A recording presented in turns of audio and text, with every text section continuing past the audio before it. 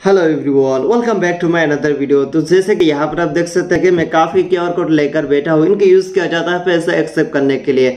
जब आप कोई भी दुकान पर जाते हैं सामान खरीदने के लिए, और सामान खरीदने के बाद जब आप पैसा पे करना चाहते हैं ऑनलाइन तभी आप ये प्रॉब्लम फेस कर रहे होते हैं कि कहाँ पर पैसा सेंड करना चाहिए?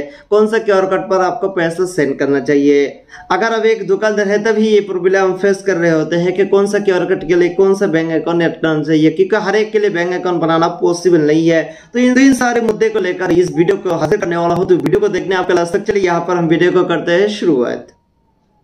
तो जैसे कि आप जानते हैं कि लोग का आहिस्ते आहिस्ते डिजिटल हो रहा है तो पैसा भी वे करना चाहते हैं ऑनलाइन कोई तो मान लीजिए कि आप एक दुकान पर जा चुके हैं वहाँ पर आप सामान खरीदने के बाद जब आप पैसा पे करना चाहते हैं ऑनलाइन तब आप दुकान पर देखते हैं कि काफ़ी सारे क्यू आर कोड वहाँ पर मौजूद रहता है। फ़ोन पे रहता है गूगल पे रहता है पेटीएम रहता है अमेजोन रहता है यह जो भी क्यू आर कोड होता है वहाँ पर मौजूद रहता है। लेकिन यहाँ पर आप ये प्रॉब्लम फेस कर रहे होते हैं कि आपके पास तो सिर्फ़ गूगल पे है या फ़ोन पे है तो उन यस से कैसे आप पैसा पे कर सकते हैं? तो यहाँ पर मैं आपको बता देना चाहता हूँ आप जिस जो भी एप्स यूज़ करते हैं मान लीजिए कि आप फ़ोन पे यूज़ करते हैं या गूगल पे यूज़ करते हैं तो वहाँ पर एक ऑप्शन मिल जाता है स्किन एंड पे तो इसे भी QR कोड को स्किन करके पैसा पे कर सकते हैं। आप बात करते हैं आप बात करते हैं कि अगर आप एक दुकानदार है और आपको यहाँ पर काफ़ी QR कोड आपको दिया जाता है कि आपके पास गूगल पे है फ़ोन पे है पेटीएम है सारे के सारे क्यू कोड आपको दिया जाता है। यहाँ पर आप ये प्रॉब्लम फेस कर रहे होते हैं कि किन के साथ कौन सा बैंक अकाउंट ऐड करो। चलिए यहाँ पर मैं आपको बता देना चाहता हूँ कि हर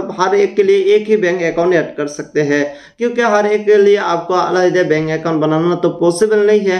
तो मैं यहाँ पर आपको क्लियर कर देना चाहता हूँ कि आप हर एक के लिए एक ही बैंक अकाउंट ऐड कर सकते हैं। वो कैसे करना है? चाहे मान लीजिए कि आप फ़ोन पे यूज़ करते हैं तो यहाँ पर आपको फ़ोन पे जाना है।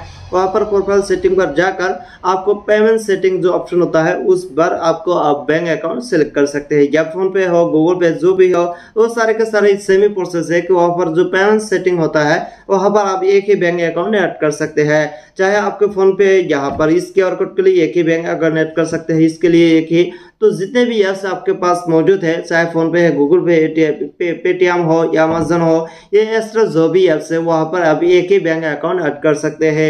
आई होप आई होप ये वीडियो आपको इन्फॉर्मेटिव लगा होगा। तो ऐसे ही वीडियो पाने के लिए मेरे चैनल को आप सब्सक्राइब नहीं किया तो जल्दी से सब्सक्राइब कर लीजिए। मिलते हैं नेक्स्ट वीडियो के साथ। तब तक के लिए जय हिंद।